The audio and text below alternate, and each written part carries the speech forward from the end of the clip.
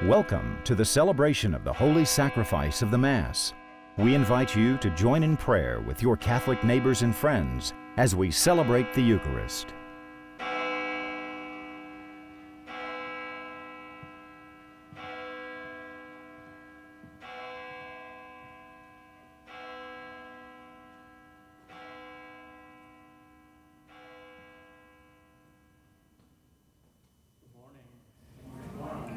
Welcome to everyone. In the name of the Father, and of the Son, and of the Holy Spirit. Amen. The peace and the grace and the goodness of our God be with you all. And with your spirit.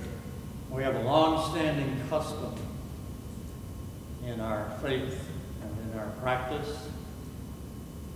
For we come as we are, and we trust the Lord will lead us closer to the goodness and love, and as needed, the forgiveness of the Lord. So we pause for a moment and trust in God's peace and God's forgiveness in our midst, in our community.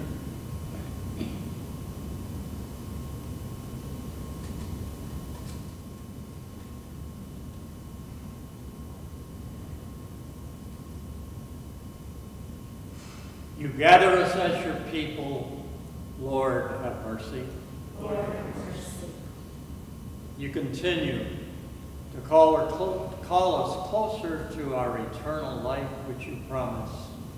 Christ, have mercy. Christ, have mercy. And you continue to ask us to live in your spirit, especially in the way that we approach one another with deep respect and concern. Lord, have mercy. Lord, have mercy. And may Almighty God have mercy on us and forgive us all our failings and lead us home to everlasting life. Amen. And on this day in which we commemorate the life of Saint Benedict, the founder of the Benedictines, let us pray.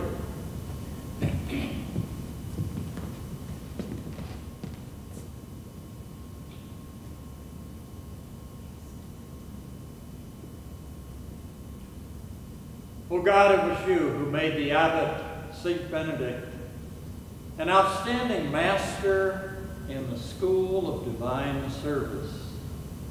Grant, we pray, that putting nothing before love of you, we may hasten with a loving heart in the way of your commands. And we ask all this through our Lord Jesus Christ, your Son, who lives and reigns with you in the unity of the Holy Spirit, our God with us forever and ever. Amen.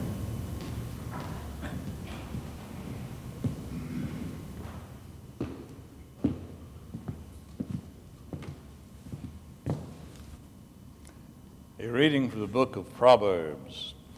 My son, if you receive my words and treasure my commands, turning your ear to wisdom, inclining your heart to understanding, yes, if you call to intelligence and to understanding, raise your voice. If you seek her like silver and like hidden treasures, search her out, then will you understand the fear of the Lord. The knowledge of God you will find. For the Lord gives wisdom. From his mouth come knowledge and understanding. He has counsel in store for the upright.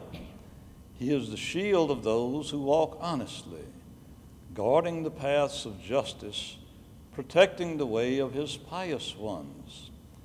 Then will you understand rectitude and justice, honesty, every good path. The word of the Lord. Thanks be to God. Our responsorial song Taste and see the goodness of the Lord. Taste, Taste and see the goodness of the Lord. I will bless the Lord at all times. His praise shall ever be in my mouth. Let my soul glory in the Lord. The lowly will hear and be glad.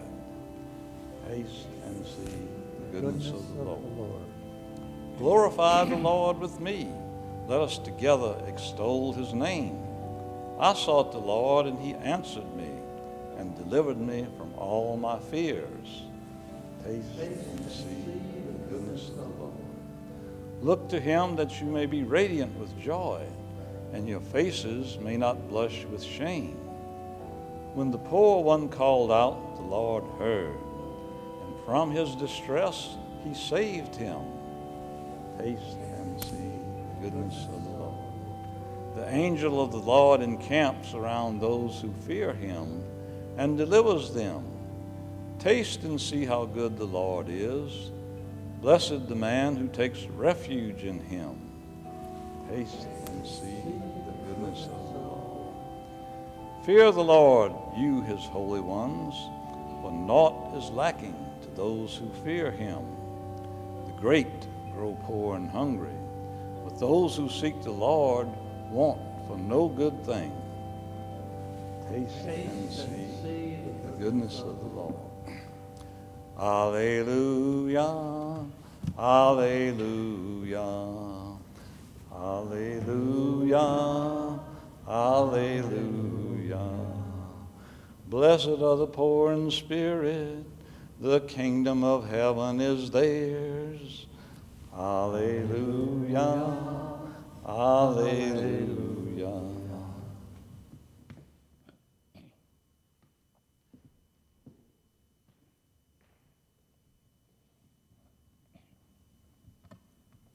The Lord be with you. A proclamation of the gospel according to Matthew.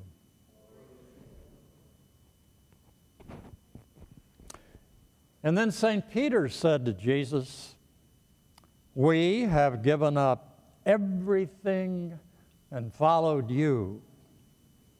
What will there be for us? And Jesus said to them, Amen. I say to you that you have followed me in the new age when the Son of Man is seated on his throne of glory. You yourselves will sit on 12 thrones, judging the 12 tribes of Israel, and everyone who has given up houses, or brothers, or sisters, or father, or mother, or children, or lands for my sake will receive a hundred times more and will inherit eternal life. The Gospel of the Lord.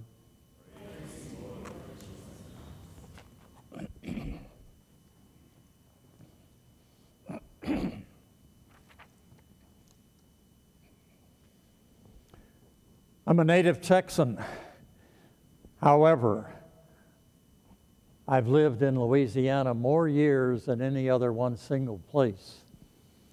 And many years ago, when I was first ordained, I was in Lacombe, Louisiana, where we Redemptorists had a community which first served a prep seminary, high school level seminary. and then it morphed, it kind of grew. It became a regional high school for boys in Lacombe. In that time, I came to know the Benedictine monks at St. Joseph's Abbey in Covington, which wasn't terribly near, but it wasn't terribly far away either. And in fact, Father Pius Lartigue agreed to be my spiritual director. I guess I still have a very warm spot in my own heart for Pius Lartigue, and I grew in appreciation through him of the sons of St. Benedict, whose feast we're here to celebrate today. What about Benedict? Well, Benedict lived in the late 400s and early 500s.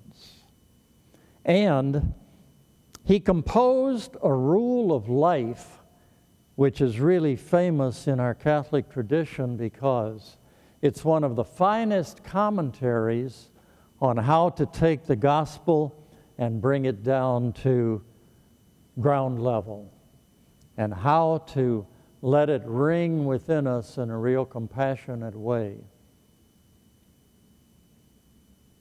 In fact, that rule of life has actually been adopted or almost adopted many times word for word in other religious communities which have been founded after the Benedictines. That rule was known as the Holy Rule, and that's a term that has kind of been given to it down through these many years in our Catholic tradition. There's one famous section about that holy rule or the rule, the Benedictine rule. And actually, it's a commentary on the way Jesus has asked us to live in any kind of interactive community where we're really close together, we're bonded together in a family, perhaps in another religious community, such as my own, the Redemptorists, or in a parish. The rule of St. Benedict really has something to say to all of us because it's so basic and yet so beautiful and so inviting. Here is what St. Benedict wrote. And I always look upon this section of the Rule of St. Benedict as an invitation to be effective and compassionate human beings. Effective and genuine.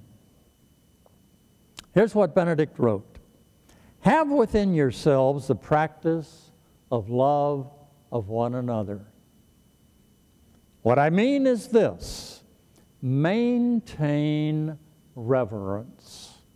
Reverence for others, even more than for yourself. Support with unlimited patience the weaknesses of others, both their bodily, sometimes physical weakness, especially as one advances in old age as well as the spiritual shortcomings that any one of us carry within ourselves.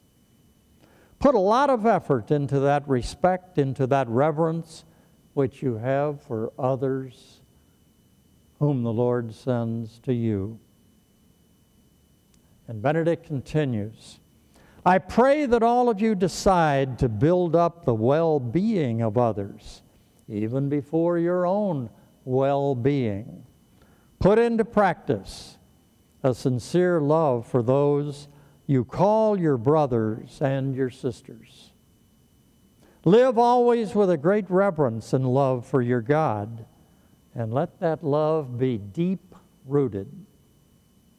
Let it be humble. And then prefer absolutely nothing to Jesus Christ. For it is He who is transporting all of us into life eternal. Powerful words, and I hope and pray they will continue to kind of shake me down to my toenails sometimes when I feel like I know better than that guy, or I can do it better. And through the prayer and the influence of St. Benedict, I might just back off and say, I too need redemption and renewal in the person of Jesus Christ. So let us stand, please, and we do have some prepared prayer of the faithful, our petitions of the community for this day.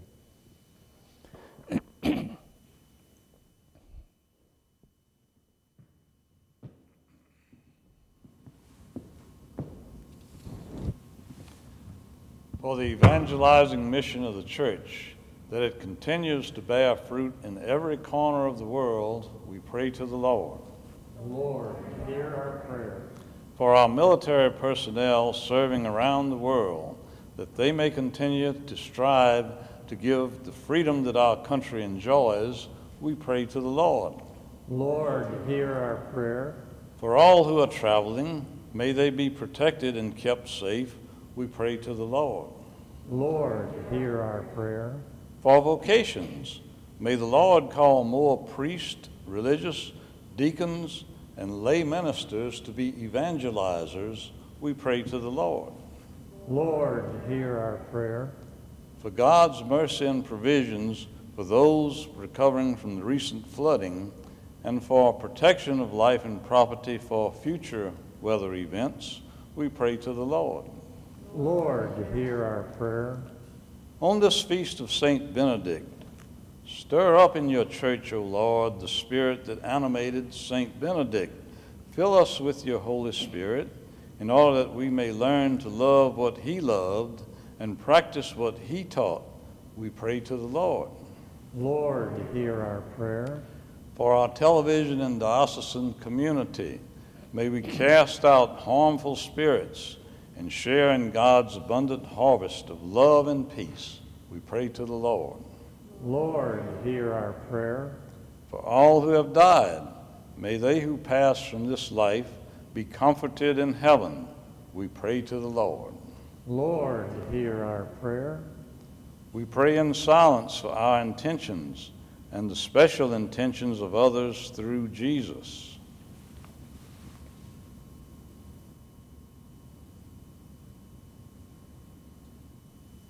And all of us here in Louisiana on this particular day are keeping an eye on the tropical depression or the tropical storm. And we pray that the Lord will be with us and spare us any major effects of that storm. We pray to the Lord. Lord, hear our prayer. Our God, as you have cared for us and brought us to this moment in our following of Christ, may you continue to fill our hearts with the spirit of Benedict and lead us all forward to eternal life as Jesus has promised.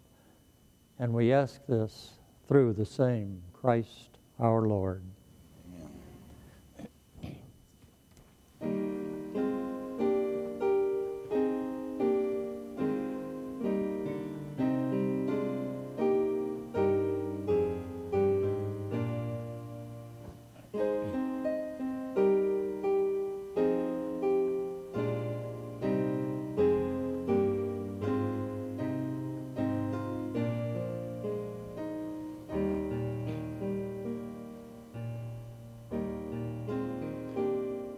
Blessed are you, Lord, God of all creation, for through your goodness we come with our bread to offer, which earth has given and human hands have made, and it will become for us the bread of our life.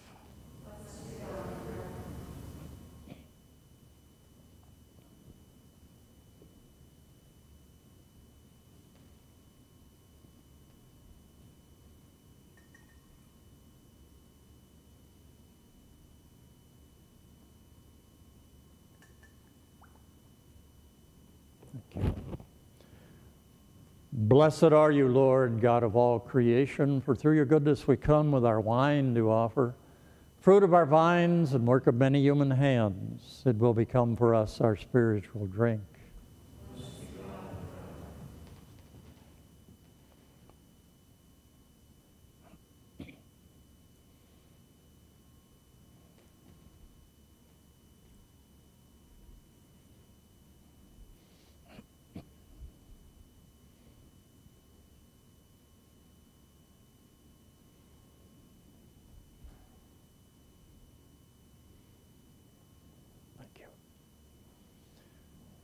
And together we pray over the gifts that they and we and all of our lives may be acceptable to God, the Father Almighty.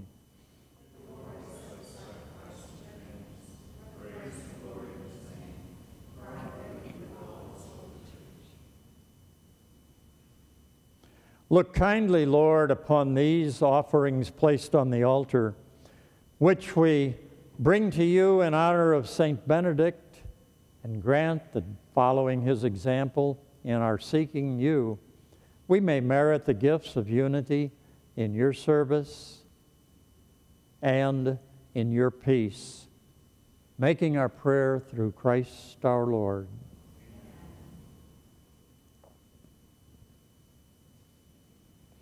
The Lord be with you.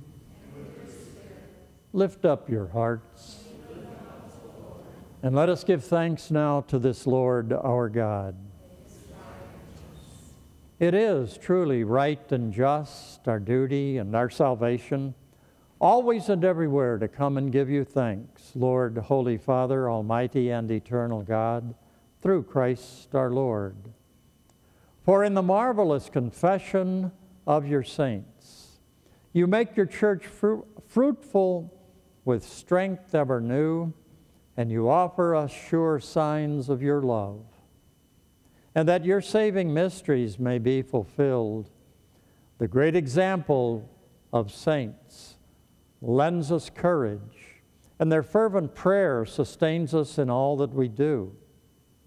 And so, Lord of all life, with all the angels and the saints, we give you thanks, and in exultation we acclaim, Holy, holy, holy Lord, God of hosts. Heaven and earth are full of your glory. Hosanna in the highest. Blessed is he who comes in the name of the Lord. Hosanna in the highest.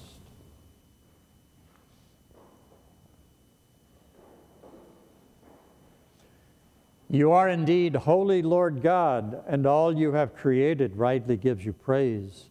For through your Son, our Lord Jesus Christ, by the power and working of your Holy Spirit, you give life to all things, you make them holy, and you never cease to gather people to yourself, so that from the rising of the sun to its setting, a pure sacrifice may be offered to your name. And therefore, Lord God, we humbly implore you, by the same Spirit, graciously make holy these gifts we bring to you for consecration, that they may become the body and blood of your Son our Lord Jesus Christ, at whose command we are celebrating these mysteries. For on the night he was betrayed, he himself took bread, and giving you thanks, he said the blessing. He broke the bread and he gave it to his disciples, saying, Take this, all of you, and eat of it, for this is my body, which will be given up for you.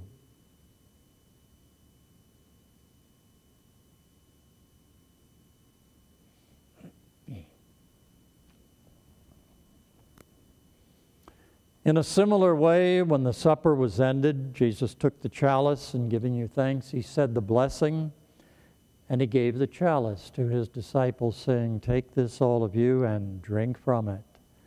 For this is the chalice of my blood, the blood of the new and eternal covenant, which will be poured out for you and for many for the forgiveness of sin do this in memory of me.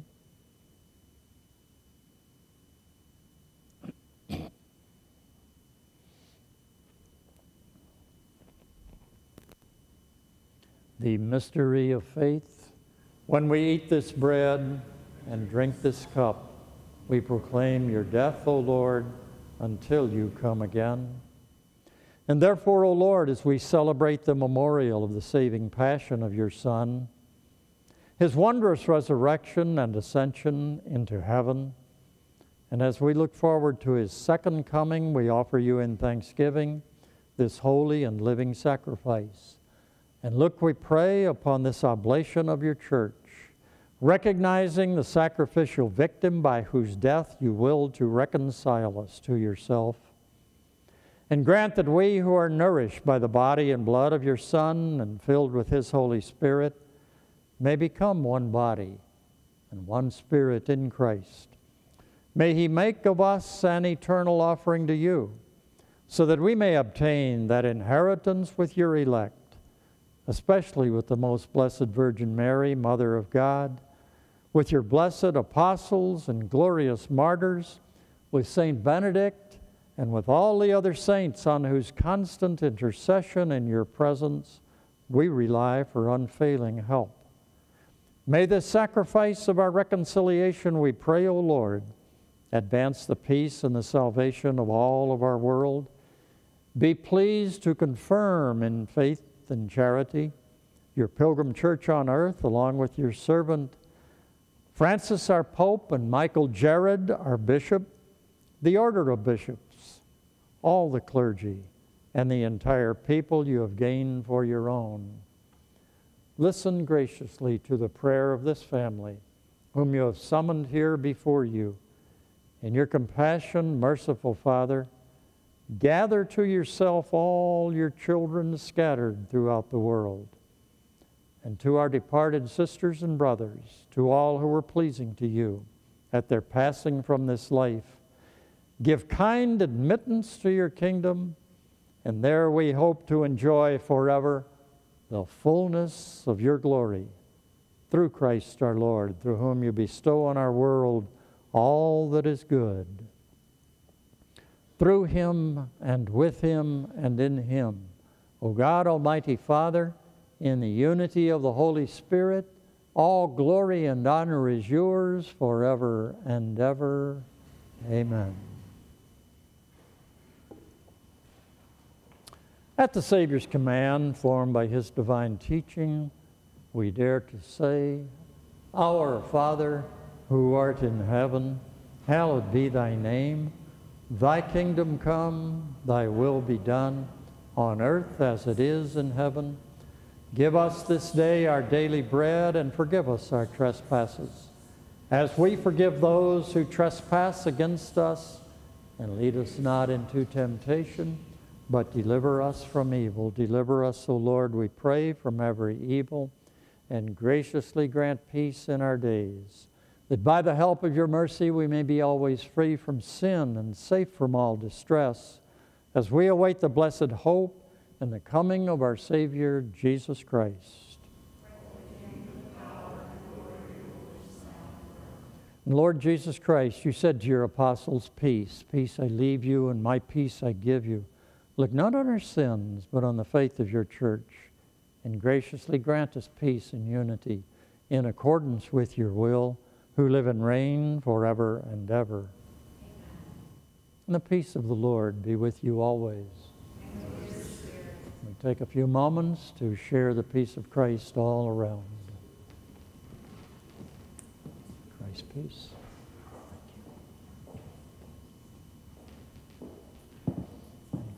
peace be with you.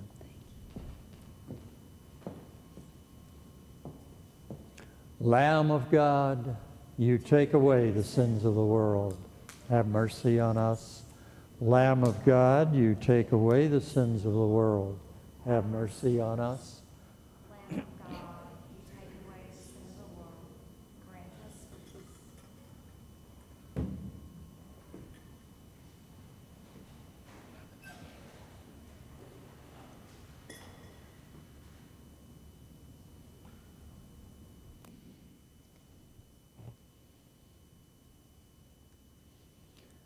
Behold the Lamb of God, behold him who takes away the sins of the world. And blessed are those called to the supper of the Lamb. Lord, but only say the word, and my soul shall be healed.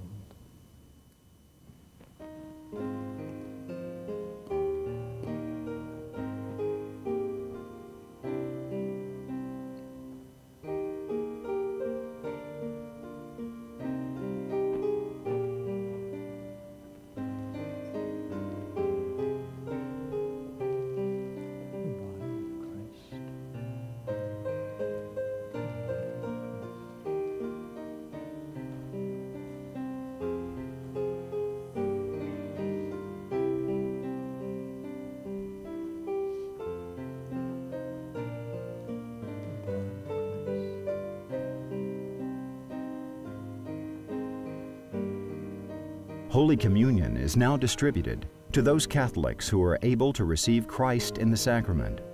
Those who cannot be present but are part of our worship by means of television are invited to make a spiritual communion. Ask Christ to come to you with His blessing and nourish you with His Spirit.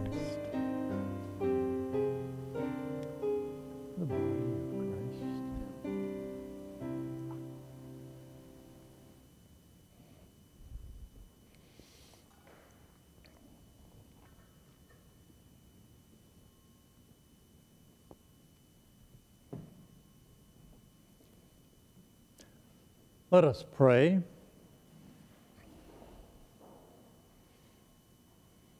As we have received the pledge of eternal life, we humbly ask you, O Lord, that attentive to the teaching of Saint Benedict, we may faithfully serve your designs, loving one another with fervent charity through Christ our Lord.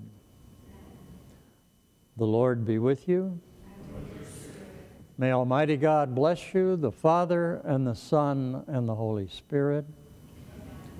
Thank you for celebrating Eucharist together. Let us go in peace.